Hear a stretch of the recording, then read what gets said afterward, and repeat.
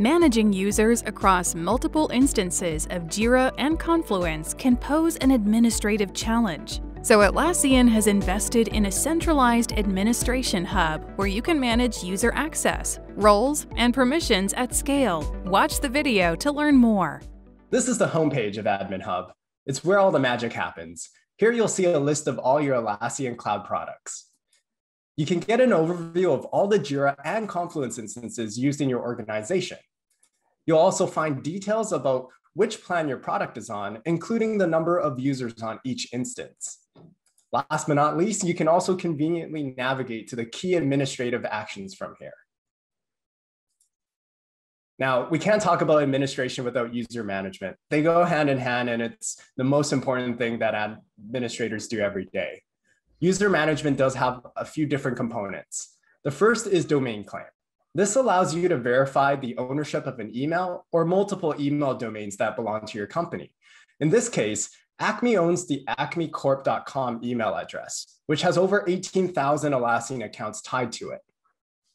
The second is domain capture. This helps you automatically manage any existing or new user that has an account with the acmecorp.com domain. This gives you the full visibility into any user that is using their company email address to use any one of Atlassian's products. You can also enforce single sign-on, view product access and activity, as well as take admin actions such as editing profiles, syncing it with an identity provider, or even deleting the account if they're no longer with your company. To support this further, we enable you to manage product access through a single org-wide user list, which lets you see all of the users that have access to any products in your organization. Within each user profile page, you can control their access to any of the instances within the organization, including the roles they, they should have, such as admin or regular end user.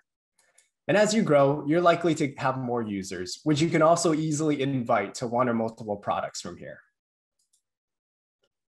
And guess what? You can also do the same thing with groups as well you can set up a centralized list of all the groups across your products, which unlocks the ability for you to use the same groups you have in one product, such as Jira software, in other products, such as Confluence and Bitbucket. And again, for each group, you also get a detailed product access breakdown. This allows you to see the plan, pricing, and how many overall users are counting towards your bill.